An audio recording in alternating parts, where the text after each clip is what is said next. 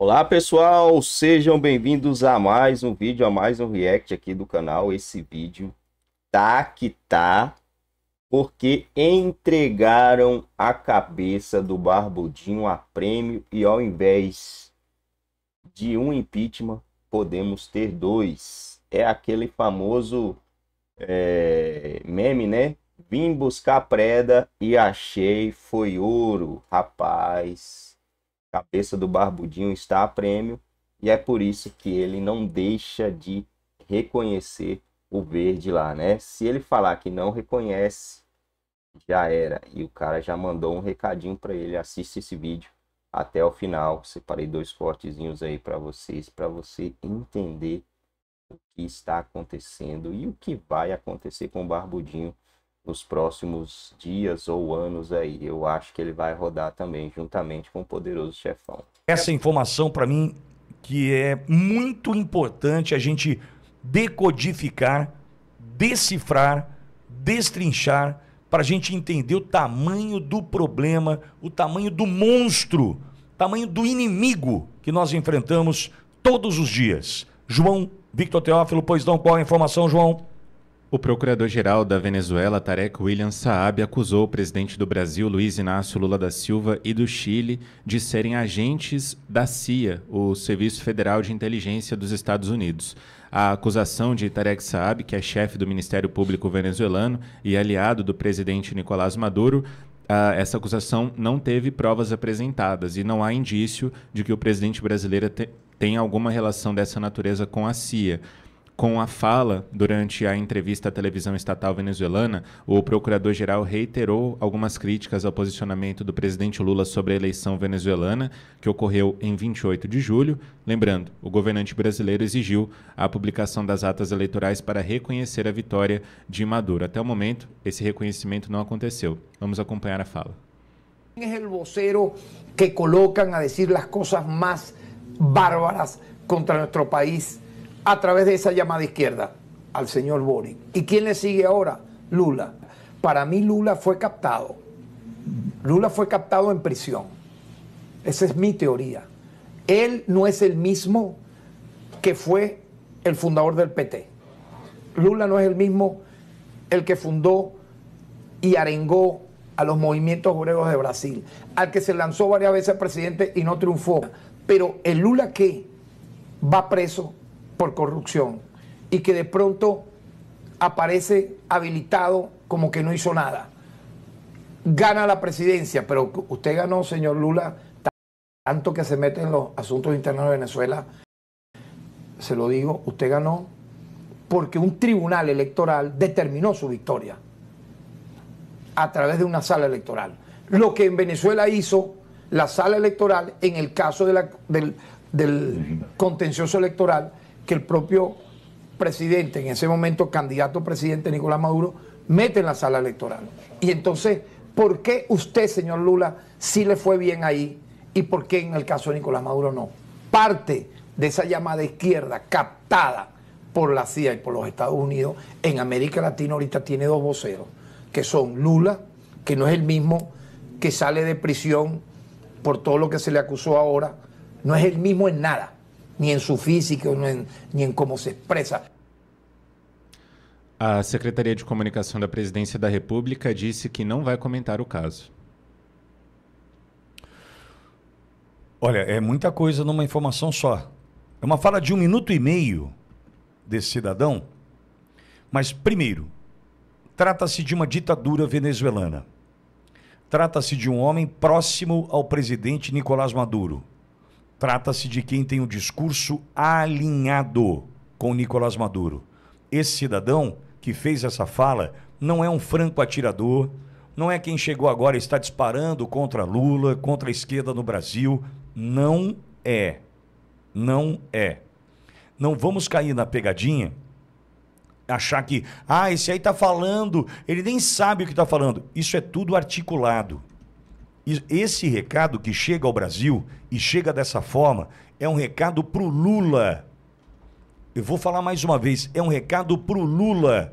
E você vai se lembrar que aqui na Oliveira de Brasil eu já disse diversas vezes: Lula não pode soltar a mão de Nicolás Maduro. Lula não pode. O que Lula está fazendo, primeiro de maneira desonesta, quando ele pede novas eleições, isso é desonesto. Porque na Venezuela eles estão muito, muito avançados com relação ao processo eleitoral a partir de uma exigência feita pelos Estados Unidos, que é de colocar o voto impresso. E o voto que vai poder contar, então, com a contagem pública na Venezuela. Esse adiantar do processo na Venezuela mostra o seguinte: eles estão na nossa frente. E Lula, quando pede uma nova eleição, Lula é desonesto, porque ele sabe que basta pedir a contagem pública dos votos para ter a certeza, então, de que quem venceu as eleições de 28 de julho, quem venceu foi Edmundo Gonzalez. E ponto final. Aí, Lula cai na desgraça, junto à opinião pública, inclusive mundial, parte da imprensa que sabe o que acontece na Venezuela, parte da imprensa que sabe, obviamente, o que acontece na ditadura venezuelana, e Lula então precisa acenar para a imprensa e para líderes mundiais que condenaram essa fraude, entre todas as aspas, porque não dá para fraudar um sistema que tenha contagem pública dos votos. O que dá é o seguinte: eu tentar escantear meus adversários, tirar meus adversários de cena, como Nicolás Maduro fez. Entretanto, fraudar o sistema já não é mais possível. Aí Lula então muda o seu discurso para atender a comunidade, a comunidade internacional, a imprensa, e diz o seguinte: precisamos simplesmente ver as atas. Quando ele diz isso, ele ataca Maduro, porque ele sabe que se Maduro mostrar o resultado, Maduro é derrotado da eleição do 28 de julho. Então Lula trai, trai uma pontinha, mas trai Nicolás Maduro. E esse recado chega para dizer o seguinte: o que o Pitori já disse aqui na Oliveira de Brasil: ninguém pode soltar a mão de ninguém. Eu estou tentando, tentando contato com a jornalista Elisa Robson, que está nos Estados Unidos, para que ela nos conte, porque parece-me que também há um avanço com relação à colaboração junto à justiça americana por parte do general Hugo Carvajal, que estava na Espanha e foi extraditado para os Estados Unidos. Nós nutrimos a esperança da vitória de Trump para que Trump possa de fato apertar Carvajal, que vai contar para a justiça o envolvimento do narcotráfico, do narcoestado, financiando campanhas partidos da esquerda, do Foro de São Paulo, na América Central, Caribe e América do Sul. Então, olha o tamanho disso tudo. O que esse cidadão fez em rede nacional na Venezuela, alfinetando mais uma vez Luiz Inácio Lula da Silva, mostra o seguinte: Lula, você tem certeza que quer soltar a mão do Maduro? Você tem certeza que quer trair os seus amigos? Você tem certeza que você vai nos abandonar agora, pedindo contagem das atas, apresentação das atas? É isso mesmo, Lula? Será que a gente vai ter que contar de onde vem o dinheiro da sua campanha? Será que a gente vai ter que contar o que sustenta o PT, o que sustenta a esquerda no Brasil? Será que a gente vai ter que contar? Porque é o seguinte: Petro, na, na Colômbia, é, dentre outros líderes dessa América Central, Caribe e América do Sul, em especial Petro, tá ali, acenou, cobrou, mas não deve mais avançar. Tanto é que não é alfinetado. Como Lula quer ficar de bem com a comunidade internacional e imprensa, ele está tomando essa alfinetada. E digo, alfinetada planejada. Não pense você que esse cidadão sentou diante da câmara, da câmera e disse: "Vou atacar o Lula, vou dizer que ele foi cooptado pela CIA". Aí fica também com relação à CIA o nosso alerta da interferência norte-americana no processo ocorrido no Brasil no último pleito. Vou tomar todo cuidado porque se o algoritmo pegar né, e juntar o Lé com o credo que eu estou dizendo aqui, eu posso me lascar. Então, a CIA interferiu em todo o processo realizado ali atrás. Em todo o processo. Inclusive amparando, dando guarida e retaguarda para que as decisões tomadas por quem comanda o processo você está entendendo tudo que eu estou dizendo? Dando guarida, amparo, para que as decisões, decisões estúpidas, absurdas, estapafúrdias, escalafobéticas, que foram tomadas ali por quem cuida do processo, para que essas decisões não fossem contestadas, não fossem derrubadas. Tinha alguém dando guarida. E estão dizendo que é a tal da CIA, que é a Agência de Inteligência Norte-Americana. A mesma agência que não conseguiu antever o ataque a Trump no dia 13 de julho. A mesma agência. Então, amigo, esse buraco é muito mais embaixo. Entendo que se a imprensa quiser, embora vendida e patrocinada, entregue ao governo Lula, que essa imprensa pressionar um pouquinho e Lula avançar no que tange o questionamento ao resultado da eleição venezuelana, a gente pode ter, amigo, a declaração que queremos.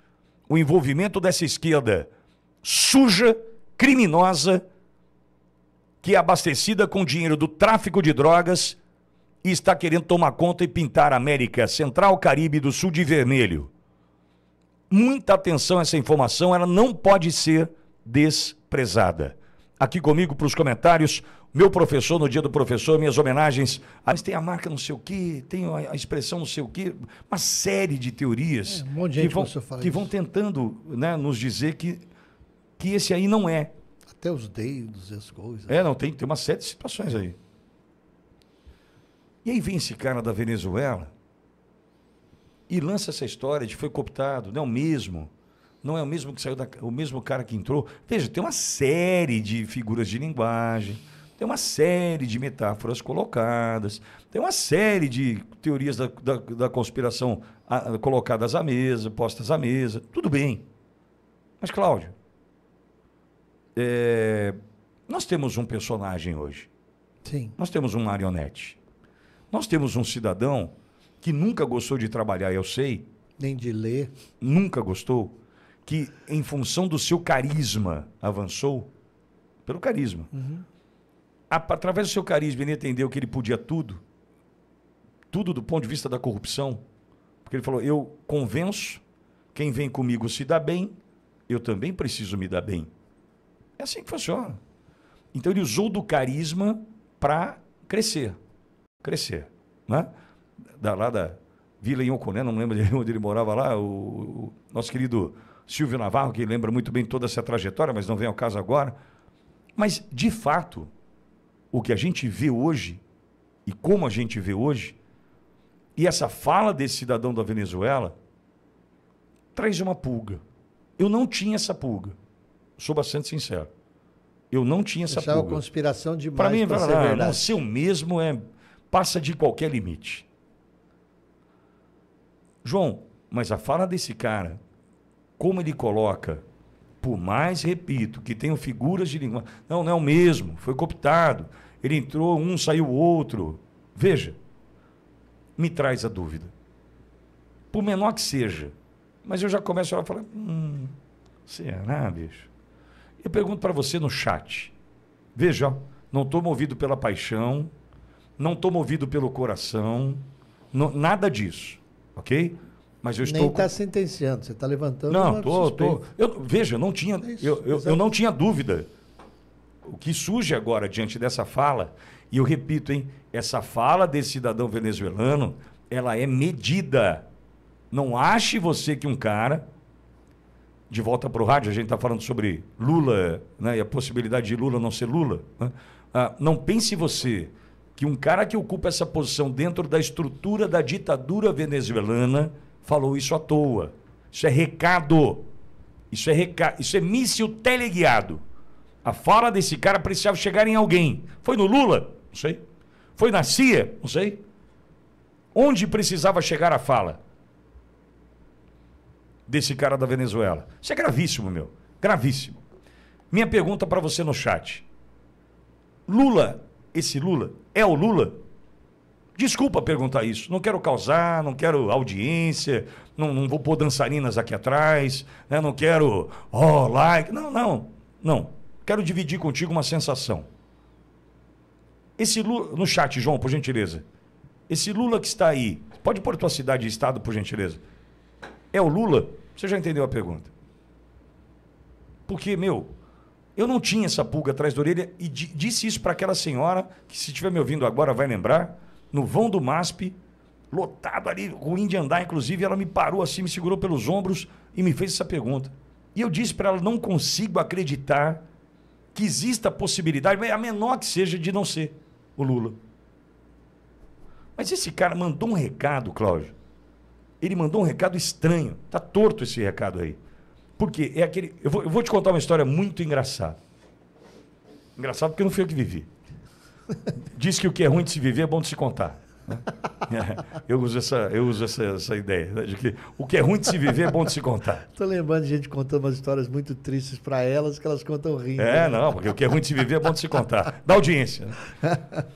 Uma campanha eleitoral, não vou dizer o ano para não matar os personagens, a gente vai. Se eu disser disser o ano, Bauru consegue entender quem era, tá? Então não vou dizer o ano. Participei de campanha eleitoral em Bauru desde 92, então cada um faça a sua conta aí.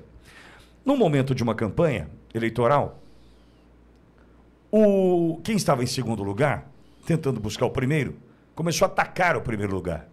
E atacar de uma maneira vil, baixa, ruim. Ataques ruins, mentiras, calúnias. O cara estava exagerando, exagerando mesmo. Passando de todos os limites. E eu estava na campanha, produzindo a campanha de quem estava na primeira posição, no primeiro lugar. E venceu, inclusive. Aí teve uma reunião, porque os ataques começaram a pegar. Como estão mentindo agora contra Cristina Grêmio, descaradamente em Curitiba, fizeram isso aqui em Bauru. Aí esse cara me chamou e falou assim: olha, eu com- comandava os programas de, de rádio. E o rádio, nessa, nesse caso de campanha eleitoral, em especial cidade do interior, ele é feito para voadora, é, carrinho na- na- no tornozelo. O rádio ele é usado onde bate mais, mais para pancadaria. Quando precisa é no rádio. Aí ele chamou e falou assim: olha, é, eu sei quem está plantando essas mentiras lá do outro lado. Esse cara já foi meu amigo. Esse cara já frequentou a minha casa. Eu sei, ele sabe muito de mim. E está querendo usar de questões pessoais, distorcidas e mentirosas para me atacar. Então ele sabe que ele vai me desestabilizar. Só que é o seguinte: esse cara aí é corno. Esse cara tomou uma galhada dolorida. E ele tomou uma galhada dolorida e ele, quando se deparou com a situação, parece que o cara tentou pular o muro e o papagaio correu atrás. Voou atrás do cara, bicou. Então, uma situação é ridícula, cara. Mas a situação é ridícula. Aí ele falou assim para mim, ó, ó, você vai pro programa de rádio e você vai dizer assim, ó, ó o papagaio no muro, hein? Tipo assim, você vai continuar me atacando, eu vou falar que você é um corno. Você, Vou entendeu? expor a tua verdade. Mandou um recado. Não é nem mentira, é verdade. Mandou um recado. E, e veja, João. Falou assim: ó, ó, o papagaio no muro, para você. Se eu tro- trouxer uma mensagem agora assim, muito obrigado a todos que acompanham, para você que tem o papagaio no muro, para você que está me acompanhando. Chegou o recado no cara. Para minha audiência, ó. Não é nada, papagaio no muro. Você entendeu? Pra todo mundo não quer dizer nada. E se eu colocar. Ó, vou ler aqui uns recados. Quer ver só? Vamos lá, vamos contextualizar. Um alô para o Luiz Borges, para todos da rádio, ele está em Navegante Santa Catarina. Para você que está com papagaio no muro também. Para o Carlos Pavuna, dizendo Marçal é o caceta. Tá, tá. O João Carlos Moreira, ah, também participando com a gente. Alô, papagaio, olha o muro. A Rose Oliveira também com a gente ali. Obrigado, Luciano, pelas. Meu, Acabou. mandei. O Acabei. recado tá dado. Mandei o recado. Quem sabe fala, ué, mas. Ué, ué, ué. Entre o Luciano e a Rose, eu mandei o recado. Não foi para a Rose e não foi para o Luciano, mas o recado chegou. É um míssil teleguiado. E as pessoas não acham que existe isso na comunicação política. Isso né? existe toda hora. Agora, esse cara da Venezuela, da forma como ele trouxe, que ele planta o negócio, não é um míssil? Claro. O que, que diz a audiência, João Victor Teófilo? Bom, Vitória, acompanhando aqui o chat do YouTube, o pessoal tá é, dizendo que É isso aí, pessoal. O Barbudinho, Barbudinho tá com o col na mão, porque a batata dele começou a assar, rapaziada. E agora? Será que o verde vai chegar ao ponto de entregar o Barbudinho? O recado tá dado, né?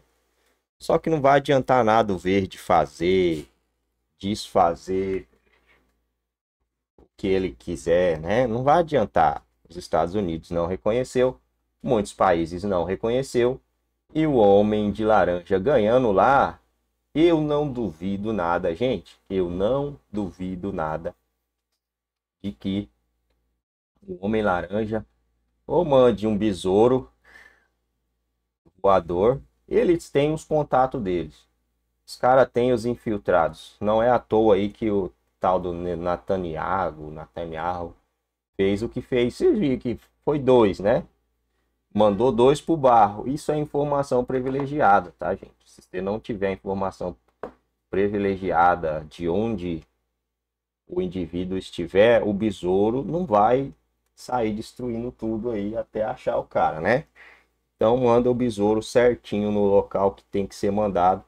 E eu acredito que o Homem Laranja possa fazer isso e vai fazer isso ou mandar o besourinho ou alguém que vai estar tá por ali por ali aquele famoso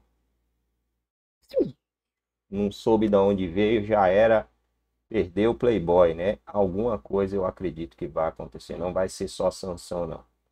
Sanção vai ser pouco pelo que esse cara fez com as pessoas do seu país, né? Pouco. Muita gente foi pro barro aí nesses últimos dias lá. Desapareceram pessoas, né? E ele vai pagar pelos crimes dele. Vai pagar, eu creio nisso. E o Barbudinho também. É, o Barbudinho também tem que ser denunciado. Já pensou? Sai uma denúncia forte aí de que o Barbudinho, o poderoso chefão, tá tudo. É, política é igual futebol, né? Estão todos misturados nesses esquemas aí. É renúncia e ó. Cara renuncia e desaparece em três palitos. Pode ter certeza. Bastidores da votação secreta para novas vagas no STJ tem intenção e intrigas. Vamos ver aqui mais alguma coisinha para a gente encerrar. Haddad se diz preocupado com o avanço do, do conservadorismo no Brasil. Cara, e... os caras estão preocupados com o avanço de uma coisa certa. Uma pessoa conservadora já a palavra já diz tudo. É o cara se diz preocupado. Não, eu quero que esteja o F. Quero que o Brasil esteja o F. Aí os idiota, mano, vai lá e é isso aí, tá chade, é isso aí. Você não entende, cara, que o conservadorismo é, é, é o padrão da família, é o padrão para que o mundo ande, cara. Existe um padrão nas coisas tudo existe um, uma triangulação, né? Pai, mãe, filhos. Pai, mãe, filhos. Uma ponta de flecha para indicar essas pessoas, essas crianças, adolescentes, jovens ao caminho certo.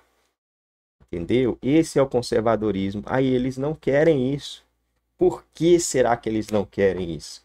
Porque eles querem lavar a mente desses bobó cheira-cheira aí para que eles sejam bobó cheira-cheira eternamente. Infelizmente, é assim que funciona, né? Alquimista enaltece relação com Mula e desconversa sobre eleição. Bolsonaro fica irado com leniência e apoia Cristina Grêmio em Curitiba. Eu não sabia que escrevia o nome dela assim, né? Graem, Graem, se fala Grêmio. O governo impõe sigilo sobre lista de passageiros de voo de Lula. Fez parada 10 minutos, parada de 10 minutos. É isso aí, pessoal. Vamos ficando por aqui. Daqui a pouco tem mais.